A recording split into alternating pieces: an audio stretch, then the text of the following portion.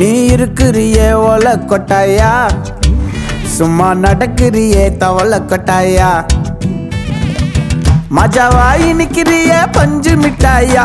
அவர் வேலை உசுரா வச்சிருக்கேன். அது அவராண்ட கொஞ்சம் எடுத்து சொல்லுங்க. சோஜாவா படுத்துக்குவேன் ஓமடியில சாஞ்சு. சும்மா வாட்டமா இருக்கிறிய வாட்டர் பாக்கெட் மூஞ்சி.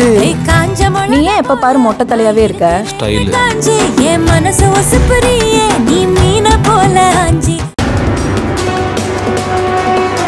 நான் சொல்றத கொஞ்சம் பொறுமையா கேக்குறியா? பிள்ளைங்க ரெண்டு பேரையும் வீட்டுக்கு வர வச்சிடலாமா?